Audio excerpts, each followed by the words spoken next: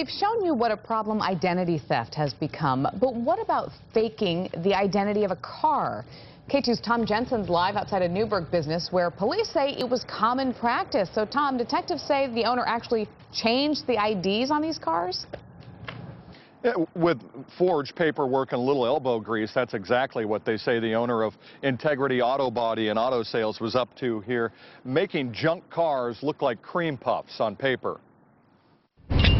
Minutes after we arrived at Integrity Auto Body, employees began taping paper over the doors and windows. Once in a while, they peeked outside a slightly ajar door, but quickly closed it when I asked questions. Hi. They never talked, Oh, locked it. beyond saying the owner, 41-year-old Steven Gronley, would be back later. Gronley never showed up after appearing in Yamhill County Court accused in an elaborate illegal car sales scam. But a neighbor did talk, painfully chuckling about the name on Gronley's business. From what he dealt, how he dealt with us, I, I don't think it's a very integrous of him what he did. So, So the uh, the name Integrity Auto.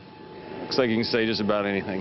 Mark Lundgren says he bought a car from Gronley with what he was told were current and valid license plates. But he learned they were anything but valid when police stopped his son. When we, my son got pulled over with it and went to uh, court, they said the license plates didn't exist. They didn't have a record of where those plates came from. Newberg and Dundee police say Gronley switched or altered vehicle identification number plates on junk vehicles and forged DMV records, including titles, before he sold cars. We decided to take a look for ourselves, and we looked at all of these vehicles. Now, this is a good example of what police may have found.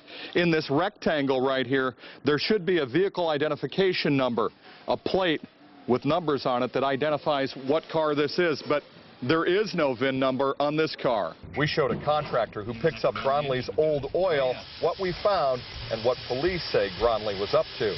Does that surprise you? Yeah, it does. Really? Yeah. Why? why what, what can you say about him? Can you say anything in his defense? He always seemed to be a pretty stand-up guy to me.